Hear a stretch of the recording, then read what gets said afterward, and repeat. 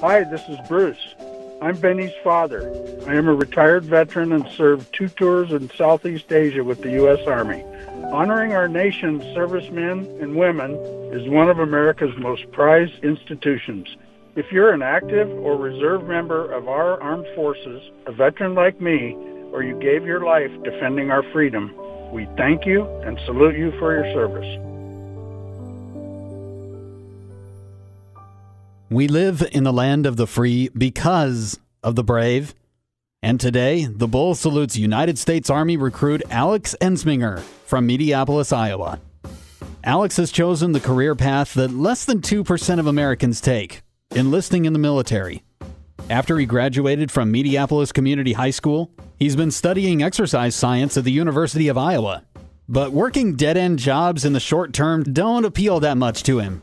They're nowhere near as rewarding as the Army is.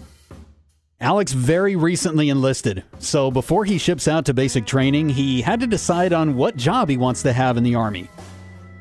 Alex has chosen to become an infantryman, 11 Bravo, just like both of his grandpas. Ground Forces infantrymen are the backbone of the Army. They're tasked with some of the toughest assignments in the harshest conditions. Alex's body and mind are going to be put to the test once he completes his one station unit training at Fort Benning, Georgia. And since he already has college credit from the University of Iowa, he'll have a head start as he'll be enlisting as a private second class. Alex's mom, his dad, and his two brothers are standing behind him in his decision. Please join them and us in thanking future soldier Ensminger for his commitment to serving our country.